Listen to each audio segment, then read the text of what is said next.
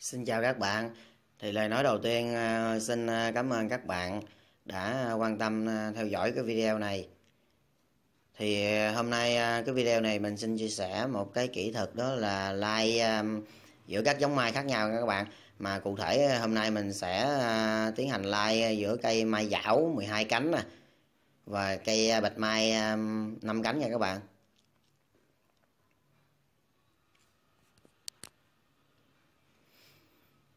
Thì đây là những cái ờ, mà nụ ờ, hoa của cây ờ, mai giả 12 cánh này các bạn.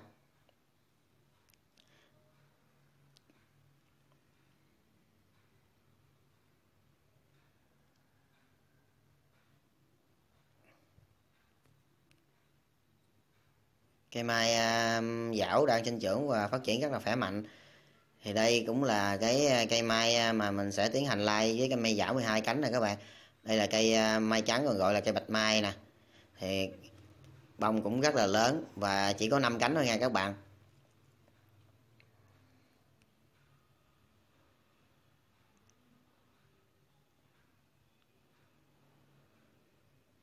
Rồi thì trở lại với cây mai dảo 12 cánh này thì à, mình cũng xin chia sẻ một số. Khi à, cây chọn làm cây bố mẹ thì cây nó đang phát triển khỏe mạnh nha các bạn. Nụ nụ hoa là to nè và không à, bị à, mắc à, các loại nấm bệnh nha các bạn. Thì tiếp theo đó là chúng ta sẽ tiến hành chọn cái nụ bông để tiến hành like nha các bạn. Thì đây là một số cái nụ bông nè. Mình sẽ cắt bỏ đi bớt, mình chỉ chừa lại một cái nụ bông trên cái mỗi cái cành thôi để tập trung dinh dưỡng nuôi cái nụ bông này. Để khi mà nó phát triển thì nó sẽ phát triển được nhanh chóng rồi thì sau đây là chúng ta sẽ tiến hành là khử cái à, phần nhị đực của cái à, nụ bông này bỏ nha các bạn. Chúng ta sẽ à, tiến hành gạch những cái đường dọc theo cái nụ bông nè. Để chúng ta là tìm kiếm những cái nhị đực của cái cái nụ bông để chúng ta cắt bỏ nha các bạn à, nhằm mục đích là không cho nó tự thụ phấn với nhau.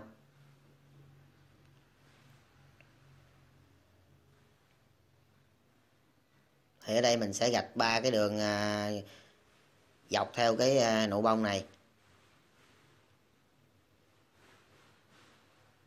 Đó mình đã gạch à, xong cái phần à, nụ bông rồi đó các bạn.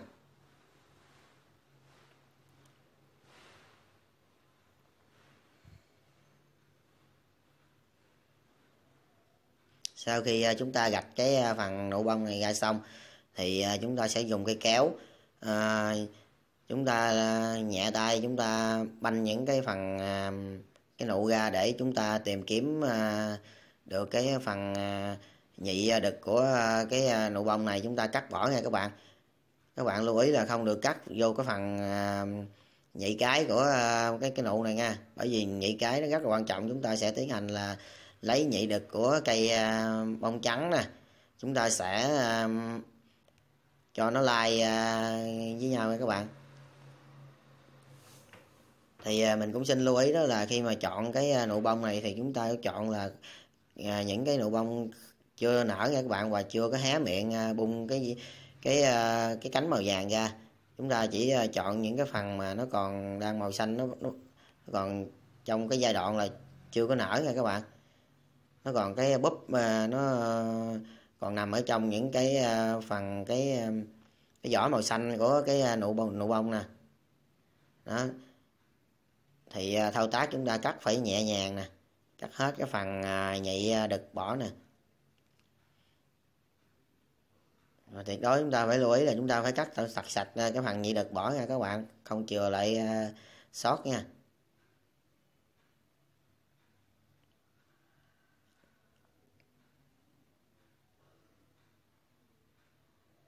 Như thế thì mới à, đảm bảo được cái à, cây nó sẽ à, không tự thụ phấn được. Thì chúng ta mới thực hiện cái quá trình là lai cho cây mai được thành công.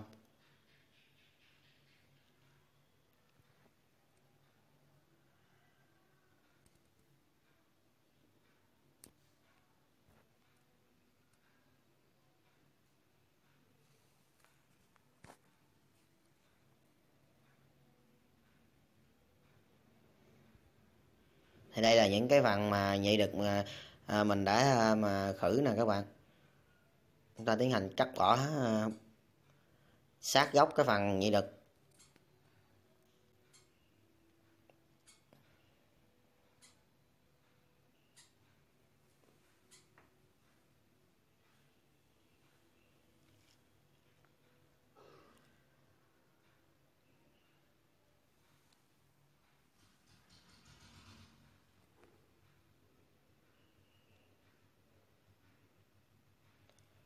Khi à, cái à, thao tác cắt nhị lực thì chúng ta phải cái thao tác nhẹ nhàng nha các bạn. Tránh ờ, mạnh tay làm dập nát cái ờ, nụ hoa nha.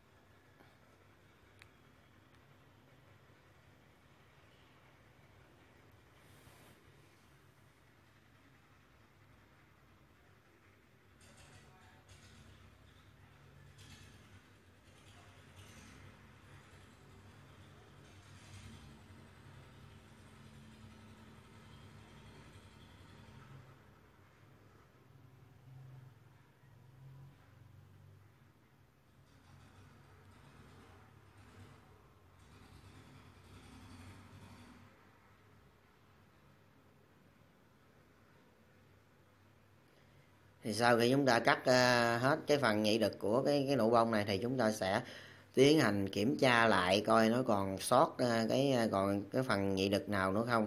Thì chúng ta sẽ tiến hành là cắt uh, mà lại cho nó hết luôn nha các bạn.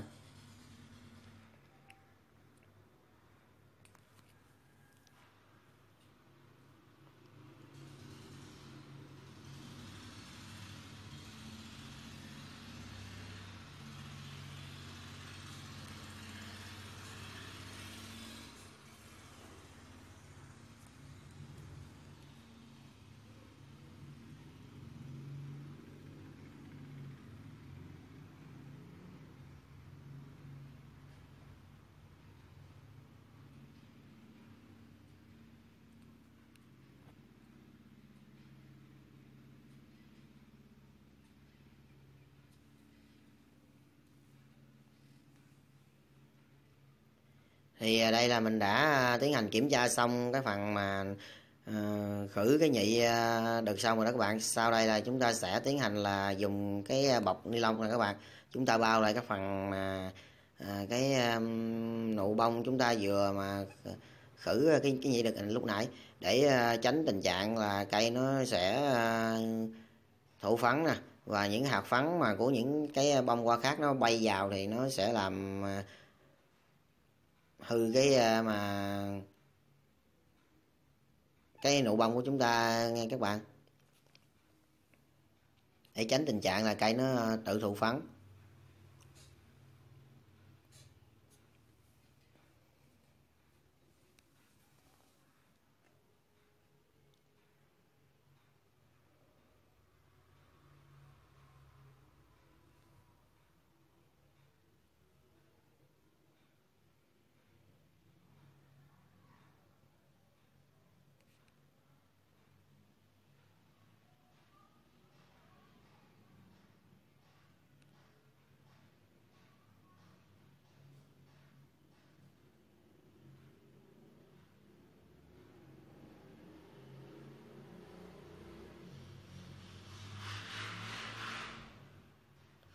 Thì đây là mình đã à, khử xong cái phần nhị à, mà đực của cái nụ bông này nè.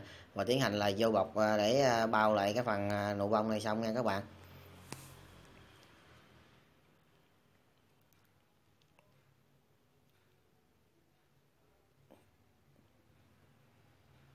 Đây là cái cây mà mai để chuẩn bị làm cái phần à, lấy cái à, nhị à, đực của nó để tiến hành là thụ phấn cho cái à, bông mình vừa khử à, nhị à, nhị đực hồi nãy đó các bạn là cây mai dảo mà hồi nãy đó. Thì đây, đây là cây mai trắng mình sẽ tiến hành lấy cái nhị đực của nó để thụ phấn nha các bạn.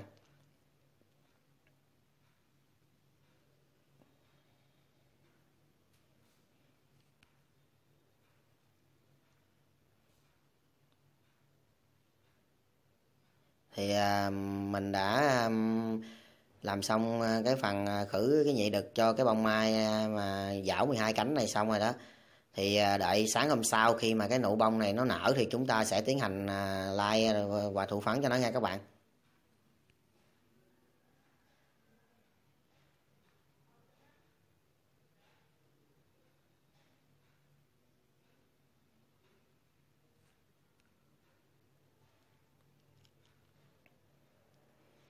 Xin chào các bạn à, thì à, qua sáng hôm sau, cái à, nụ bông này nó đã nở rồi nè các bạn. Như các bạn thấy đó, nụ bông nở và những cái nụ bông của cái nụ cây mai, bạch mai này nó đã nở nè các bạn. Nó nó đã có những cái à, mà nụ hoa nó đang à, nở à, mới vừa nở luôn đó các bạn. Thì à, những cái à, nhị đực của nó đang à, à, mà trong cái giai đoạn này là chúng ta lấy à, cái nhị đực để thụ phấn là rất là tốt nha các bạn.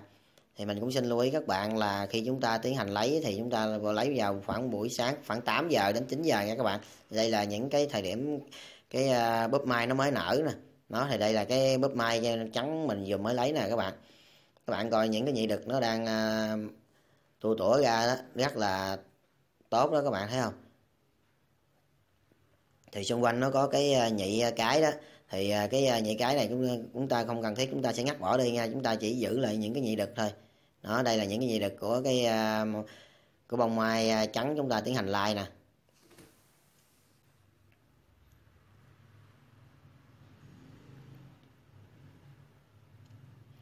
Sau đó thì chúng ta sẽ tiến hành là mở bọc ra nha các bạn. Này thao tác này phải ờ, rất là nhanh nha các bạn. Chúng ta mở bọc ra xong. Thì đây là cái bông cái bông mai ờ, dảo 12 cánh nó đã nở rồi đó các bạn. Tại vì chúng ta đã khử cái phần mà nhị ờ, đực của nó nên nó có phần ảnh hưởng tới cái những cái cánh bông nên nó sẽ không có nở đẹp được nha các bạn. Đó, thì chúng ta sẽ áp một cái phần là những cái nhị đực của bông mà mai trắng này lên, cái phần nhị nhị cái của cái uh, cây mai dảo 12 cánh này các bạn. Như thế là chúng ta đang uh, tiến hành là lai cho nó đó các bạn. Đây là quá trình à, thụ phấn cho cây mai dảo 12 cánh các bạn. Sau đó thì để đảm bảo là cái quá trình này để thụ phấn tốt hơn và tránh những cái hạt phấn của những cây mai khác bay vào thì chúng ta sẽ tiến hành dùng cái bọc để chùm lại ngay các bạn. Và điều lưu ý là chúng ta phải quay cái phần mà cái nhị à, đực của à, cái à, bông mai trắng này xuống cái phần nhị cái các bạn, để chúng nó tiếp mà ừ, tiếp giáp với nhau để xảy ra cái quá trình là thụ phấn luôn nha các bạn. Sau khi chúng ta vô bọc xong thì chúng ta sẽ chỉnh lại cái những cái mà ừ, nhị đực của cái bông mai trắng nè, để cho nó quay xuống nè để ờ, cái ờ, hạt phấn của nó bay ra và nó ờ, thụ phấn cho cái nhị cái của của cây me của mà cây me dảo nha các bạn.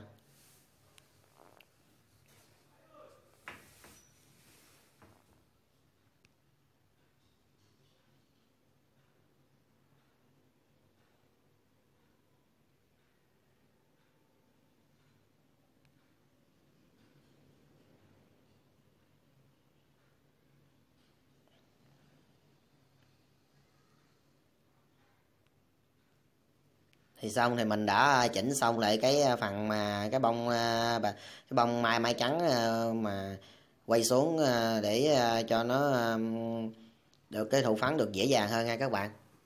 Thì đây là mình đã tiến hành là lai hai cây mai cây bạch mai cây bạch mai và cây mai dảo 12 cánh nha các bạn. Thì mình sẽ để trong cái bọc này như thế khoảng là một đến hai ngày luôn nha, các bạn cũng không có vấn đề nha. Khi mà cái cái bông mai mà trắng nó héo đi, thì à, chúng ta sẽ tiến hành là mở mở bọc ra nha các bạn. Thì đó là đã, thì à, nó, quá trình nó à, thụ phấn nó đã diễn ra được thành công rồi đó các bạn. Thì sau khi như này chúng ta sẽ nuôi cây mai này, bón phân theo NPK thêm và xịt những cái loại thuốc dưỡng cây để à, cho nó nuôi cái hạt mà cái hạt của cây mai này được tốt. Sau khi mà cái hạt này nó ờ, mà phát triển và nó thành màu đen thì nó ờ, thì chúng ta sẽ tiến hành là thu ờ, mà lấy cái hạt mai này để tiến hành đem đi gieo trồng cây con nha các bạn.